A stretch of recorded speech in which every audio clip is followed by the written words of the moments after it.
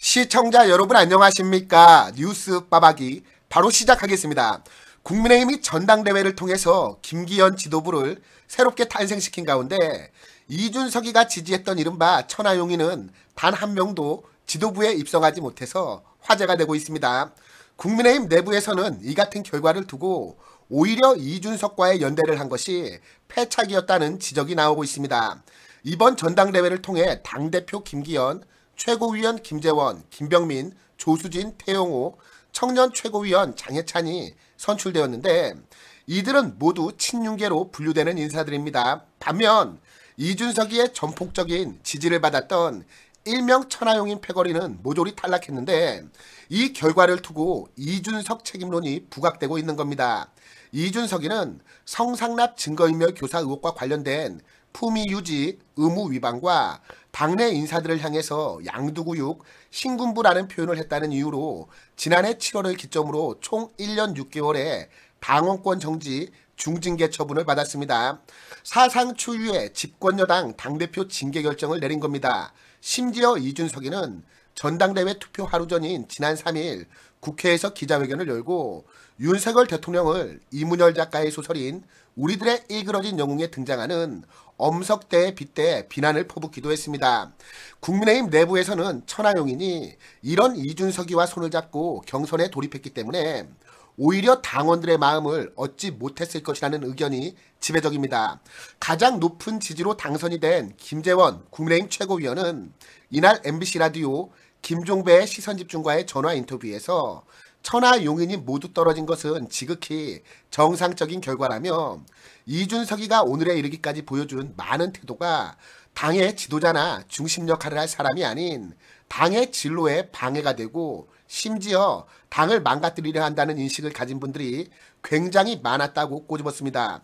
김재원 최고위원은 이준석과 그를 따르는 4명의 후보는 다른 사람에게 공감을 얻으려고 하지 않고 그저 싸워서 비난하고 공격해서 자신의 목적을 달성하려는 태도를 가졌다며 당원들이 이준석 정치에 완전한 청산 계기를 마련하고 더 이상 이런 식으로 정치하지 말아달라는 그런 결정이 아닌가 생각한다고 평가했습니다.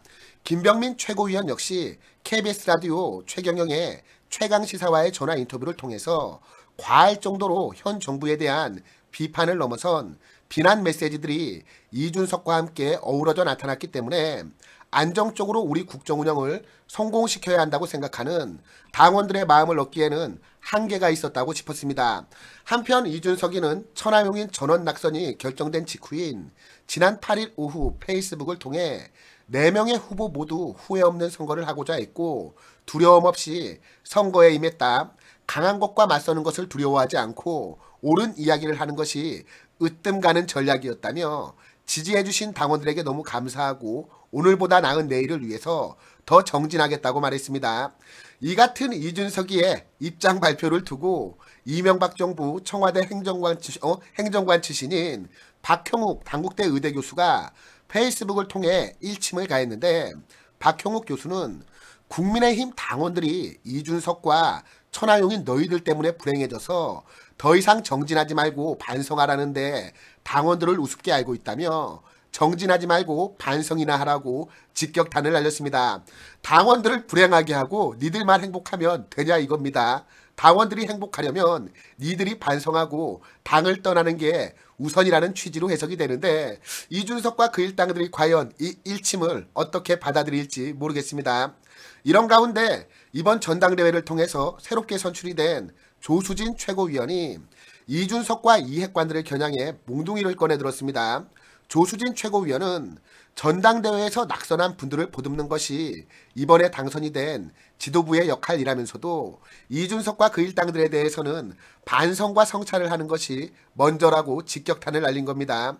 조수진 최고위원은 오늘 CBS 라디오 김현정의 뉴스쇼에 출연해서 전당대회에서 친윤계 후보들이 압승한 것에 대해 원래 여당은 대통령 정당이라고 강조했는데 비윤이나 반윤으로 불리는 자들이 분란을 조장하며 당내 권력 투쟁에 활용을 했기 때문에 굉장히 보기 좋지 않은 모습이었다고 했습니다. 이준석계 후보들이 전당대회에서 모조리 낙선한 것에 대해서는 이준석계가 내부 총질을 일삼으면서 인지도는 올라갔다며 그런데 그거를 어떤 바람이나 돌풍으로 보기는 굉장히 어렵다. 전당대회 기간 내내 내부 총질만 했잖나. 그거를 당내 민주주의나 소신으로 포장하려고 해도 당원들이 그것을 받아들이지 않았던 것이라고 꼬집었습니다. 조수진 최고위원은 이준석계가 이번에 제대로 심판을 받았다며 심판을 받았다면 지금이라도 반성과 성찰을 해야 한다. 갈라치기, 분열의 정치 이거는 민주당의 대표 상품인데 그거를 하는 사람이 국민의힘에서 어떤 목소리를 내고 어떤 여론 주도 세력이 되어서는 안 된다고 강조했습니다. 그러니까 이준석과 그 졸개들은 패배를 인정하고 앞으로는 까불 생각하지 말라는 겁니다. 안철수 당대표 후보가 강승규 대통령실 시민사회 수석을 전당대회 개입 의혹으로 공수처에 고발한 것에 대해서는 선거가 끝났으면 그 부분에 대해서도 봉합을 해야 한다. 낙선한 후보를 만나서 그동안의 상처나 그런 고민 같은 게 있었다면 보듬는 것이 이번에 당선이 된 지도부의 역할이라며 그 부분은 잘 해결될 것이라고 생각한다. 저부터 잘하겠다고 했습니다.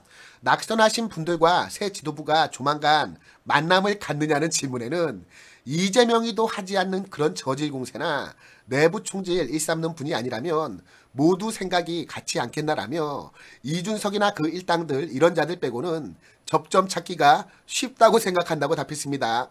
이에 진행자가 아니 그렇다면 이준석계 천하람 당대표 후보는 안 부를 거냐는 질문에 저는 이준석 대리인에 대해서는 관심 없습니다만 어떤 권력을 어 권력을 틈타서 대리인으로 나선 사람들은 거기에 대해서 반성과 성찰을 하는 것이 먼저라고 강조했습니다. 그러니까 이준석계와는 앞으로도 같이 갈 생각이 전혀 없다는 것을 거듭 분명히 한 겁니다.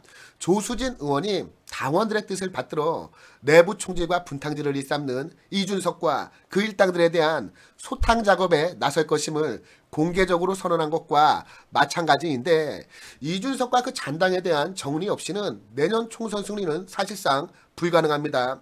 이번 전당대회 국면에서 모두 두 눈으로 똑똑히 확인하지 않았습니까? 내년 총선을 앞두고 또다시 이자들이 준동해서 내부 총질과 분탕질을 일삼는다면 국민들의 이 국민의힘을 바라보는 이 시선은 싸늘해질 수밖에 없고 총선에서도 악영향을 끼칠 수밖에 없습니다.